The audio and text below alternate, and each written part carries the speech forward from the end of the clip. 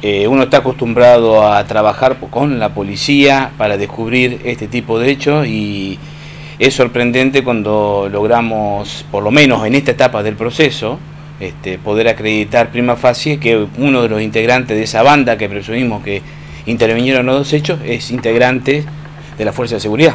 En el reconocimiento llevado a cabo en la sede de la DDI de Necochea, este, estuvimos presentes eh, yo y estuvo presente también el defensor oficial.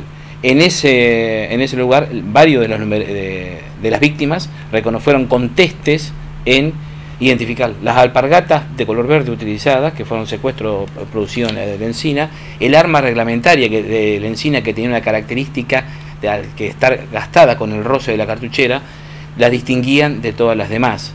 Este, tenga presente que en el reconocimiento había 15 pistolas. Claro y fueron directamente a señalar esa.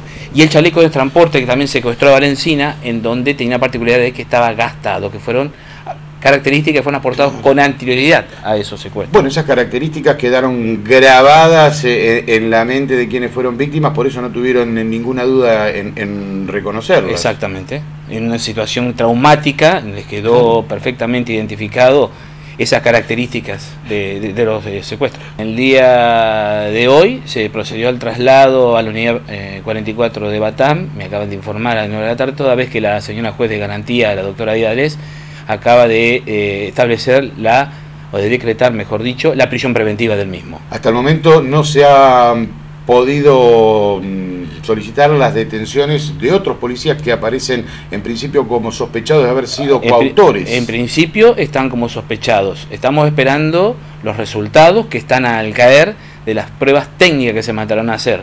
Esto es, eh, todo lo que sea eh, información de los teléfonos celulares secuestrados a los numerios policiales para determinar si hubo comunicación o la geolocalización de los mismos. A partir de antenas. A partir de antenas, exactamente.